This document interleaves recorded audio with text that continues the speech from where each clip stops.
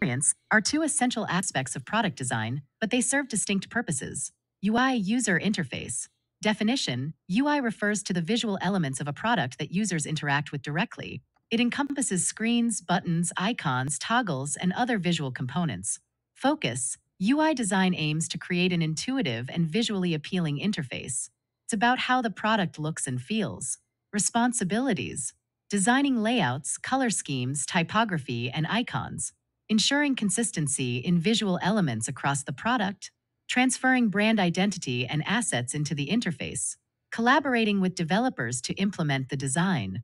Example, the buttons you click, the navigation menus, and the overall aesthetics of an app or website are part of UI design.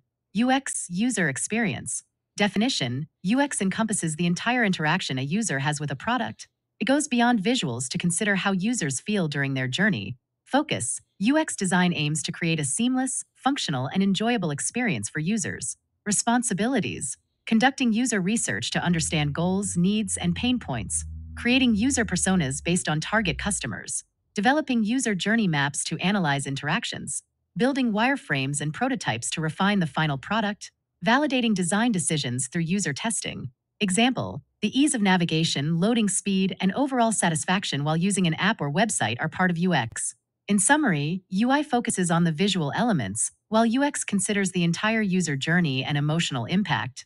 Both roles are crucial for creating successful products, and often good UI and good UX go hand in hand.